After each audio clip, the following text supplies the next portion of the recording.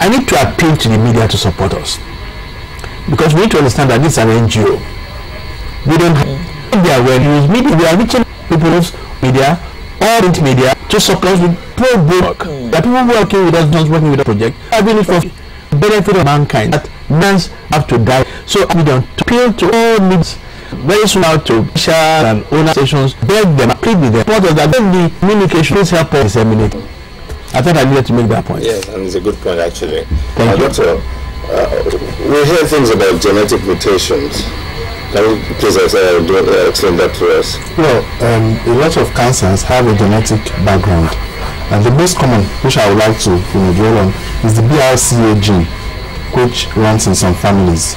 That BRCA gene um, means that those in that in, the- in that family have an increased risk of breast, ovarian, and colon cancer, and that's why sometimes you find the same individual have breast cancer at one time, and then later on have ovarian cancer as well. So this BRCA gene, however, is just a proportion of the cancers. People people tend to think that if you don't have cancer in your family, a breast cancer in your family, then you are free from breast cancer. In actual fact, it is only one quarter of breast cancers that are familiar. The other three quarters just occurs in any woman. Ovarian cancer is only 10% of ovarian cancer that are familiar. So you do have to screen. And people shouldn't say, well, I don't want to know whether I'm, uh, you know, it's in our family or not because it doesn't concern me. It does concern you because if it is there, then you do have that genetic predisposition. And Ayuba, I just want to mention something about the religious aspect. People, you know, we have a phrase, you know, we use that's called being more Catholic than the Pope. People forget that even the religious leaders, their general overseers, go for their screening. the Pope in 1992 had uh, his colon screening. You know, colon screening can be one of the most undignifying screenings, so-called. but he had his colon screening, and it was found that he had a polyp. Most, almost all colonic cancer start as a polyp, and a polyp is just a benign growth that when it is removed, you don't go on to have the colonic cancer. That um, polyp was removed. That was why the Pope lived out the rest of his days. If he had died at night, we wouldn't have had his bestseller, Crossing the Threshold of, of, of Hope. You know, the Pope wrote a, best, a bestseller, Crossing the Threshold of Hope in 1994. If he had died in 1992, like most Nigerians would, that book would never have come out. And that is what, you know, we rejoice. He, he mentioned Nelson Mandela, we rejoice in his presidency. In fact, he had his, his prostate cancer screening, and was detected he had a high PSA before he, he became president of, of, um, of South Africa. So if he was a typical Nigerian, he would have died without being president of South Africa. And what would have happened to world history if he was never president of South Africa?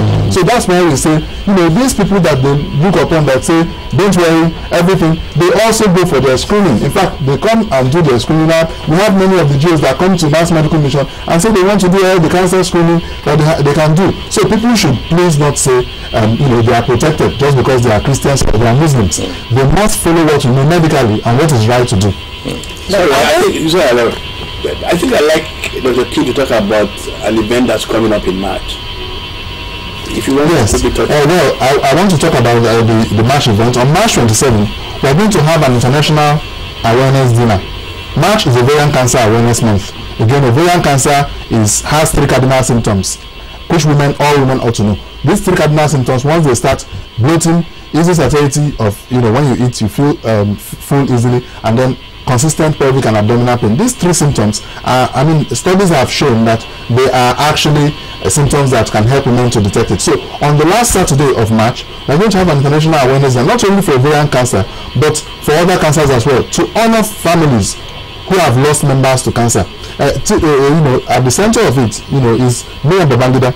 You know, I was in Minna, and then we, we talked about it, and we're going to be honoring her and then honoring other families of people that have Gani Fawemi. Last year alone, Anemia, a seven state governor, the eminent jurist Gani Fawemi, and a former first lady died of cancers. And this is just the tip of the iceberg. You can imagine how many ordinary people will be going through the same thing. So these people we are going to honor, all the governors, all the first ladies, the vice president, you know, are going to be there.